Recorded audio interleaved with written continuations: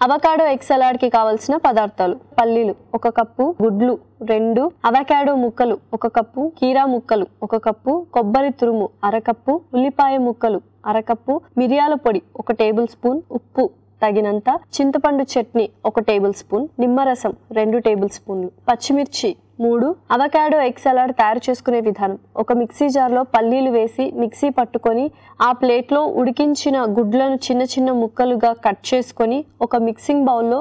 గుడ్డు ముక్కలు అవకాడో ముక్కలు కీరా ముక్కలు కొబ్బరి తురుము ఉల్లిపాయ ముక్కలు మిరియాల పొడి తగినంత ఉప్పు పచ్చిమిర్చి వేసి మిక్సీ పట్టుకున్న పల్లీల పొడి కొద్దిగా చింతపండు చట్నీ వేసి బాగా కలిపి గుడ్డులో ఉన్న ఎల్లో సొనా కూడా వేసి నిమ్మరసం పిండి సర్వింగ్ ప్లేట్లోకి తీసుకొని సర్వ్ చేసుకుంటే tasty tasty avocado egg salad ready